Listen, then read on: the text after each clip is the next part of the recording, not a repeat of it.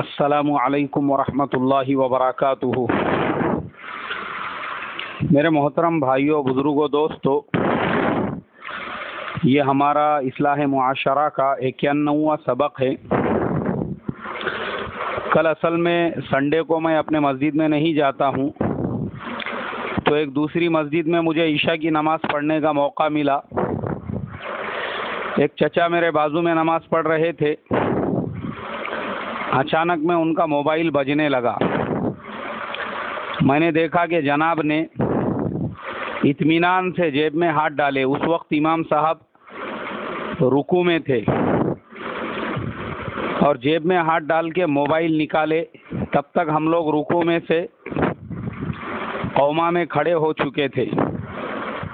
और उसके बाद इमाम साहब ने सजदे की तस्बीह सज, सजदे की तकबीर अदा कर दी। तो हम लोग सब सजदे में चले गए, मगर वो जो चचा थे, उस हालत में भी वो कौमे में खड़े रहे, पूरे इत्मीनान से उन्होंने मोबाइल हाथ में निकाला, चेक किया किसका फ़ोन आया हुआ है। उसके बाद शायद उसको कट किया, मोबाइल को बंद किया, वापस से जेब में रख के, जब उन्होंने सजदे में आने की कोशिश की तो तब तक इमाम साहब ने जलसे की तस्बी अदा कर दी थी। और हम लोग जलसे में आ गए और वो चचा सजदे में चले गए। मैंने गौर किया कि वो चचा जो है, इमाम साहब से एक स्टेशन पीछे चल रहे थे। और नमाज़ जब ख़त्म हुई तो उन्होंने सबके साथ में सलाम फेर दिया। मैं उनको समझाने लगा नमाज़ के बाद। मैं बोला, देखो चचा, एक चीज़ है जिसे अमल कसीर कहते हैं। अगर इंसान नमाज़ की हालत में उसका मुर्तकब हो जावे या उसको अदा कर दे तो उस हालत में उसकी नमाज़ फासिद हो जाएगी, उसको अपनी नमाज़ दोहराना पड़ेगी। वो चचा मुझसे कहने लगे कि, जनाब, मैंने ये न्यूज़पेपर में ये मसला पढ़ा था कि अगर किसी का मोबाइल नमाज़ की हालत में बजने लगे तो वो अपने मोबाइल को निकाल कर उसे बंद करके रख दे। मैंने कहा, शायद आपके पढ़ने में गलती हुई होंगी। आप दोबारा उस मसले को पढ़ो। उस मसले की नोयत ऐसी है कि अगर आप ऐसी हालत में मोबाइल को बंद कर सकते हैं जिससे अमल कसीर का सुदूर ना हो तो कोई हरज नहीं है। लेकिन मैंने कहा कि आपने इस तरीके से मोबाइल को बंद किया जिसे देखकर कोई भी ये नहीं कह सकता था कि आप नमाज़ की हालत में हो। देखने वाले को ये लगेगा कि आप इत्मीनान से खड़े हुए हैं, मोबाइल को बंद कर रहे हैं, फिर जेब में रख रहे हैं। अमल कसीर का सुदूर इसे कहते हैं, क्योंकि उलामा ने अमल कसीर की जो तशरीह की है, वो यही की है कि अमल कसीर उस बात को कहेंगे या उस अमल को कहेंगे कि कोई बाहर वाला आदमी या कोई ऐसा आदमी जिसे पता नहीं है कि आप नमाज़ पढ़ रहे हैं और आपको उस अमल के, अमल को करते हुए देखे तो वो ये समझे कि शायद आप नमाज़ में नहीं हैं। उसका ये समझना ही आपके नमाज़ के फसाद का, की बुनियाद है कि वो देखने वाला जब ये समझ रहा है कि आप एक ऐसे अमल में मुबतला है जिसको देखकर कोई भी ये नहीं कह सकता कि आप नमाज़ पढ़ रहे हैं। तो ख़त्म हो गई बात। ये आपसे अमल कसीर का सुदूर हो गया। अब आपको वो नमाज़ दोहराना पड़ेगी। तो आज हमारे माशरे में एक तो दो चीज़ों का फुकदान हो चुका है। पहला ये कि उलामा से, मुफ्तियान से हम मसाइल की तहकीक करें कि भाई, हकीकत में मसले की जो नौीयत है वो क्या है? बजाय ख़ुद न्यूज़पेपर में पढ़ के मुफ्ती बनने के हमारे लिए बेहतर ये है कि हम उलामा से रुजू करें, उनसे रहबरी हासिल करें। और दूसरी चीज़ ये है मेरे मोहतरम बुज़ुर्गों, कि नमाज़ की अहमियत को अपने दिल के अंदर हम इस तरीके से रखें कि जब हम मस्जिद में दाखिल हो रहे हैं तो ऑटोमेटिकली हमारा हाथ जो है, वो मोबाइल की तरफ़ जाना चाहिए। ऑटोमेटिकली वो हमारा साइलेंट मोबाइल साइलेंट हो जाना चाहिए। ये तमाम चीज़ें खुद ब खुद होना चाहिए। इसलिए कि सोचो मस्जिद में आने से पहले थोड़ा सा ऑब्ज़र्व करो कि हम किसके दरबार में हाजिर हो रहे हैं।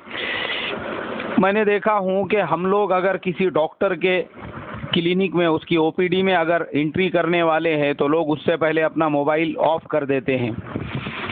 किसी गवर्नमेंट ऑफिसर के ऑफ़िस में अगर जाने वाले हैं, पुलिस स्टेशन में जाने वाले हैं, किसी बड़े आदमी से मिलने वाले हैं तो उससे पहले खुद ब खुद अपने मोबाइल बंद करके पूरे अदब से, एहतराम से उसकी पूरे वक़ार को और इज़्ज़त को अपने दिल में लेकर उसके दरबार में हाजिर होते हैं। जब हमारे दिल में एक पानी के नापाक कतरे से पैदा हुए इंसान की इतनी इज़्ज़त है, इतनी कदर है, उसको हम इतनी अहमियत, अफजलियत देते हैं कि उसके पास जाने से पहले हम अपने आप को टीप टॉप कर लेते हैं, सवार लेते हैं, सब कुछ कर लेते हैं। और वो ज़ात जिसने एक पानी के कतरे से इतने खूबसूरत इंसान को बनाया, जिसको, जिसके पास आप इतनी अजमत से जा रहे हैं तो वो ज़ात कितनी अफजलियत और अजमत के लायक होंगी। उसके दरबार में जब हम हाजिर हो रहे हैं और हमारा मोबाइल खुला हुआ है और हम इस तरीके से नमाज़ में हरकत अगर कर रहे हैं तो ये हमारे लिए नहायत ही अफसोस की बात है। इसलिए कि नमाज़ में खुशू और खुजू का होना, ये बहुत ज़्यादा ज़रूरी है। अगर आपकी नमाज़ में खुशू नहीं है, खुजू नहीं है तो फिर आपकी नमाज़ किस काम की? इसलिए कि हज़रत अब्दुल्ला इबन अब्बास रज़ी अल्लाह फरमाते हैं कि मैं दो रकात नमाज़ इस तरीके से पढ़ूँ। जिसमें पहली रकात में मैं सूर्य कुलिया यूल काफिरून पढ़ूँ पढ़ूँ और दूसरी में कुल्हु अल्लाह पढ़ूँ, पूरे खुशू के साथ, पूरे खुजू के साथ, पूरे ध्यान के साथ, पूरे तवज्जो के साथ एक एक लफ्ज़ पे मेरा ध्यान हो, मेरी तवज्जो हो, मुझे इससे ज़्यादा पसंद है कि मैं सूर्य बकरा और आली इमरान, ये दो सूरतों के साथ दो रकात बेख्याली में पढ़ूँ, बेध्यानी में पढ़ूँ, बेतवज्जोही में पढ़ूँ। इससे हम अंदाज़ा लगा सकते हैं कि खुशु, खुजू और ध्यान तवज्जो से पढ़ी जाने वाली नमाज़ की अल्लाह के नज़दीक कितनी ज़्यादा अहमियत है। तो इसके लिए मेरे मोहतरम बुज़ुर्गों, हम जब मस्जिद में, मस्जिदों में दाखिल होते हैं, उससे पहले हम अपने आप को सवार ले, मैं देखता हूँ बहुत सारे लोग ऑफ़िस में जाते वक्त, काम पे जाते वक्त में एकदम इन विन करके पूरे तरीके से अपने आप को सजा कर, संवार कर निकलते हैं। और जब घर पे आते हैं तो वो कपड़े निकाल कर एक लुंगी और एक फटी पुरानी बनियान आंग पे डाल के और फिर एक आधी जो है टोपी, सिर पे पहन कर मस्जिद में ऐसी हालत में आते हैं कि जिस आदमी को पता ना हो, शायद वो देखकर ये समझे कि बेचारा जक़ात जमा करने के लिए मस्जिद में आया है, क्या पता नहीं बोल के। ऐसी हालत में लोग आते हैं या नाइट पैंट पहनकर मस्जिदों में टी शर्ट पहनकर, जिससे बदन के पूरे आज़ा नज़र आते हैं। यानी कितनी बड़ी बेअदबी है कि दुनियावी कारोबार के लिए हम जा रहे हैं, ऑफ़िस में जा रहे हैं तो अपने आप को पूरा सजा कर और संवार कर जा रहे हैं। और जो अल्लाह जिसने बड़े बड़े ऑफिसरों को गंदे पानी से पैदा किया, उसके दरबार में जब आने का वक्त आया तो ऐसी बिसान बुरेगत की हालत के हमको देख के लोगों ने समझना कि बेचारा जक़ात का मुस्तक है, क्या मालूम बोल के।